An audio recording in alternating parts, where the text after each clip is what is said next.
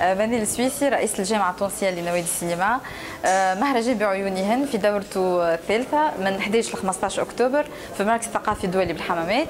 المهرجان فيه عروض سينمائية 35 فيلم أفلام قصيرة وطويلة فما الأفلام fiction documentaire ال expérimental باش يكونوا العروض في المركز الثقافي الدولي بالحمامات وفي نابل في espace جيلان في المدينة العربية مع هذا الكل فما إقامة فنية لكتابة السيناريو اللي هي تبدأ نهار 9 أكتوبر مع المؤطر المخرج باسل رمسيس.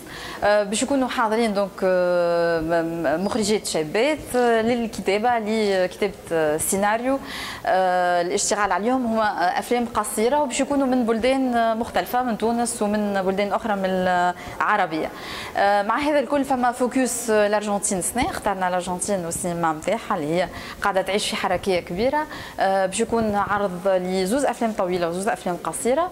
الطاولة مستديرة نهار الاثنين اللي هي مهمة برشا بالنسبة لنا إحنا على خاطر تطرح مسألة وجود مهرجان السينما باش تكون مع des représentantes نتاع مهرجان السينما الموجودة في المنطقة كيما مهرجان سلا في المغرب مهرجان القاهرة لفيلم المرأة مهرجان بيروت ومهرجان سيما وأدب المرأة في الجزائر. باش نحكيو عليه على مسألة المهرجانات أهميتها في المشهد الثقافي هل لازم ندعموا مهرجانات المرأة؟ فأساس المهرجان هو أساسا une plateforme. هي منصة لعرض الأفلام اللي تنتجها ولا تخرجها المرأة. إحنا في النهاية الأفلام ما هيش تحكي بالضرورة عن المرأة هي تحكي على مواضيع مختلفة ينجموا الحب الحرب غيرها لكن بعيون المرأة. donc على ذلك اسمه بعيونهن أه يظهر لي المهرجان بحاجة لدعم أكبر.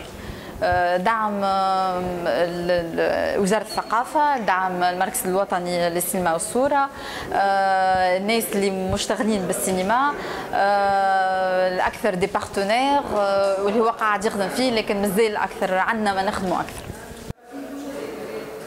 مونيت رافيلسي رئيس الجمعية التونسية للاعلام بديل وشريك مهرجان بعيونهن في دورته الثالثة. إحنا كشركاء من خلال مشروع Her Film فيلمها الممول من طرف اليونسكو. نقوم المشروع أساسا هو الهدف نتاعو تعزيز حضور السينمائيات في منطقه المشرق والمغرب العربيين.